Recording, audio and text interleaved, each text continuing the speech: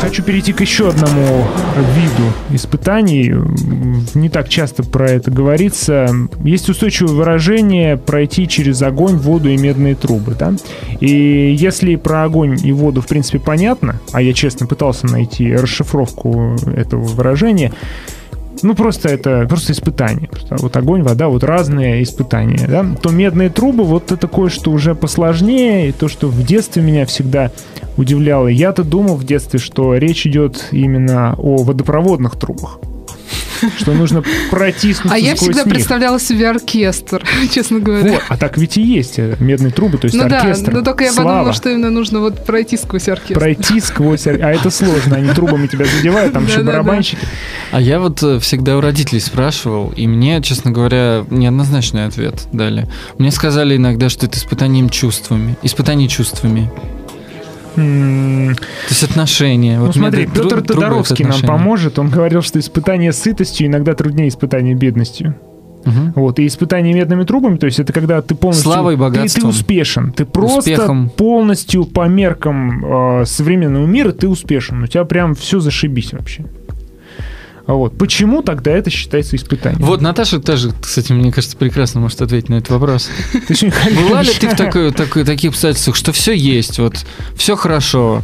Почему а. это испытание? Да, я вообще... У меня практически всегда все хорошо. Ну, почему это испытание? Не, почему... А... Ну, даже не слава, успех, да? Давай сейчас просто начнем с комфорта. Вот почему ну, комфорт да, я... это испытание? Да, я понимаю, э, в общем-то, вопрос. И мне кажется, что комфорт, и когда у тебя все есть, и все хорошо, а, за этим может скрываться серьезная внутренняя пустота. И э, на самом деле... А может не скрываться, Наташа, извини, что перебил.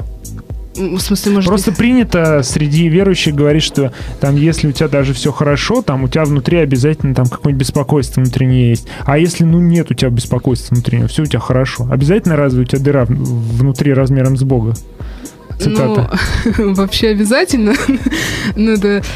Это а, теологически ты правильно сейчас мне отвечаешь. Теологически я тебе правильно Не, ну люди могут этого не чувствовать. На самом деле люди действительно могут не чувствовать, потому что испытания медными трубами и успехом, комфортом, они э, ну, приводят скорее к ожесточению сердца и а, просто перерастает в какой-то эгоцентризм, эгоизм, а, в отстранение от людей, то есть формальное отношение, то есть даже дружбу сложно строить строить, когда у тебя, в общем, все хорошо, и ты не хочешь, чтобы лишний раз кто-то тебя тревожил своими проблемами, потому что, ну, не у всех же все хорошо, зачем как бы, с кем-то общаться, кто тебя может испачкать своим неуспешным существованием, так сказать.